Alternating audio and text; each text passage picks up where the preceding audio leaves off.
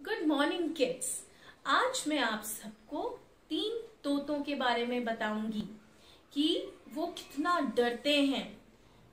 चलो तो हम सीखते हैं कविता तीन तोतों की। देखो बच्चों, वो रहे तीन तोते।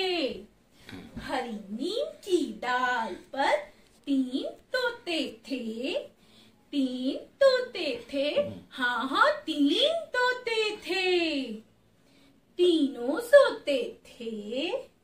तीनों सोते थे। हाँ हाँ तीनों सोते थे। फिर एक फटाका छूटा जैसे कोई बर्तन टूटा। डर गए तीनों तोते।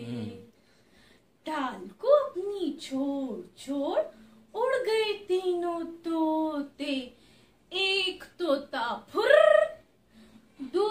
तोता फुर तीसरा तोता फुर। Children do practice have a nice day